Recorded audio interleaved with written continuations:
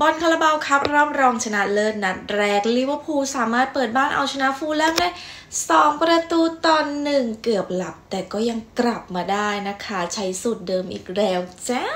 โดนนำก่อน แต่ก็ได้การเปลี่ยนเกมของเจเกนคอปแล้วก็เป๊ปไลน์เดอร์สนะคะทำให้เกมของลิเวอร์พูลดูดีขึ้นมาเลย แล้วก็รัวสองลูกในช่วงครึ่งหลังได้สำเร็จค่ะโดยก่อนเกมนะคะลิเวอร์พูลก็เจอกับปัญหาผู้เล่นตัวหลักที่ไม่พร้อมอย่างเทรนต์ก็เจ็บไปอีกนะคะ รวมไปถึงการขาดโซบอสไลโมฮาเหม็ด ซาลาห์ เอนโดด้วยถือว่าเกมนี้ค่อนข้างที่จะมีปัญหาในเรื่องของตัวผู้เล่นนะแต่สถานการณ์สร้างวีรบุรุษโอ้โห วันนี้เจ้าหนูแบรดลีย์คือทำผลงานได้อย่างยอดเยี่ยมน่าประทับใจ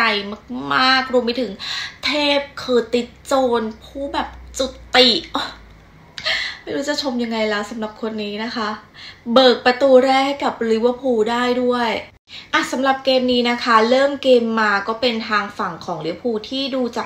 พับสนามบุกนะคะ แต่ก็ไม่สามารถที่จะทำอะไรฟูแล่มได้ จนโดนเขาบุกมาแล้วก็โอกาสยิงครั้งเดียวของเขานั้น เป็นประตูจ้า ก็เป็นในนาทีที่ 19 ค่ะ ฟูแล่มได้ประตูขึ้นนำก่อน เป็นจังหวะที่ฉกฉวยโอกาสจากความผิดพลาดของกองหลังลิเวอร์พูลนั่นแหละ จังหวะเปเรย์ร่าได้บอลในกรอบเขตโทษก่อนจะส่งบอลตัดหลังให้กับวิลเลียนนะคะ แล้วก็วิลเลียน แต่บอลหลบตวัดยิงด้วยขวาลอดดรากฟานไดเข้าไปเลยนะคะหลังจากโดนนำลิเวอร์พูลก็ขึงเกมบุกใส่นั่นแหละ แต่ก็ยังทำอะไรฟูลแลมไม่ได้นะคะ จบครึ่งแรกก็ฟูลแลมนำหนึ่งประตูต่อศูนย์แฟนฟูลแลมนี่เฮกันใหญ่เลยนะ แต่ไม่นานค่ะก็มาดับเสียงเฮของแฟนฟูลแลมได้นะคะ ในนาทีที่ 56 ครอปไม่รอช้าค่ะ เปิดครึ่งหลังมา 10 นาทีก็เปลี่ยนตัวเปลี่ยนเกมเลยนะคะ เป็นการส่งเทพดาร์วินมานะลงมาแทนกราเฟนแบร์กรวมไปถึงกักโปค่ะที่ลงมาแทนเอลเลียตเขามีการปรับแผนการเล่นใหม่นะคะ โดยการปรับหน้าเนี่ยเป็นดาร์วินคู่โชต้า แล้วก็ดิอาซมาเล่นทางฝั่งซ้ายกักโปไปเล่นขวานะคะ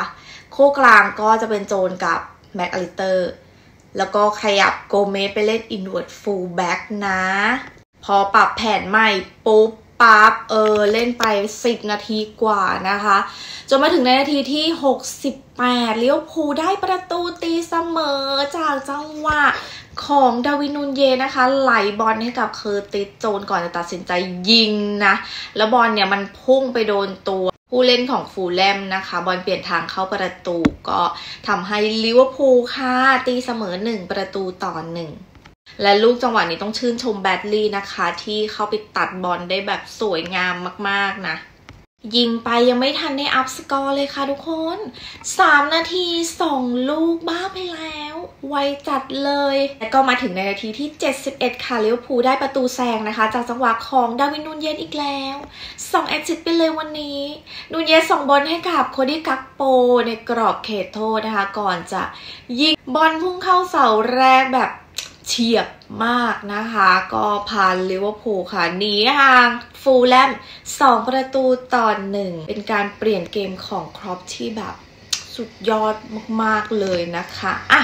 จบเกมกันไปด้วยสกอร์นี้แหละไม่ได้มีอะไรเพิ่มเติมนะคะลิเวอร์พูลเปิดแอนฟิลด์ชนะฟูแล่ม 2 ประตูต่อหนึ่งในคาราบาวคัพ รอบรองนัดแรก เกมนี้ก็ต้องนับถือความใจสู้ของนักเตะลิเวอร์พูลทุกคนเลยนะคะ เพราะว่าโอ้โหโดนนำอยู่เนี่ยก็เป๋ๆกันไปบ้างนะ แต่พอครึ่งหลังออกมาแล้วรู้สึกว่าเฮ้ยมันวิ่งมันสู้เออสู้ไม่ถอยนะคะ จนทำได้สำเร็จนะ สำหรับคนที่ได้รับคำชื่นชมไม่น้อยเลยนะคะ เจ้าหนูคอนเนอร์แบรดลีย์คนนี้แหละค่ะ ที่ฟอร์มเนี่ย โอ้โห น่าประทับใจมากๆ ยิ่งเกมที่แบบ เออ ไม่มีเทนนะคะทำให้เราเห็นว่า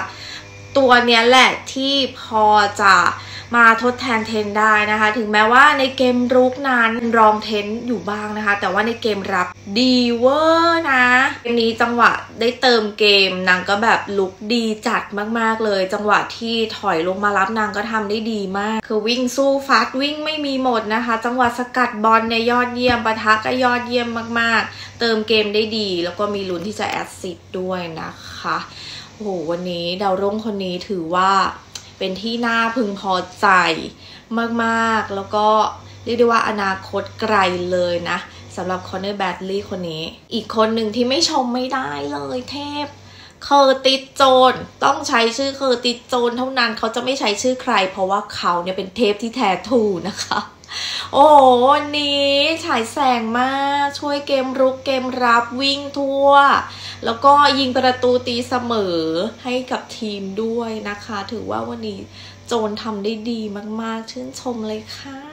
คือพักหลังเนี่ยอีโจมันดีขึ้นมาก ๆ เลยนะคะทุกคน เออ อยากให้รักษามาตรฐานดีๆ แบบนี้ต่อไปเรื่อย ๆ เนาะ เออ และก็ไม่ลืมที่จะชมดาวินนุนเย็ดแฟนฉันด้วยนะจ๊ะ ถึงแม้ว่านางจะไม่ค่อยยิง แต่วันนี้โอ้โหสอง assist นะจ๊ะ ลงมาเพื่อการนี้จ้า แต่ถ้าจะให้หล่อกว่านี้ก็ยิงให้เข้าด้วยนะคะ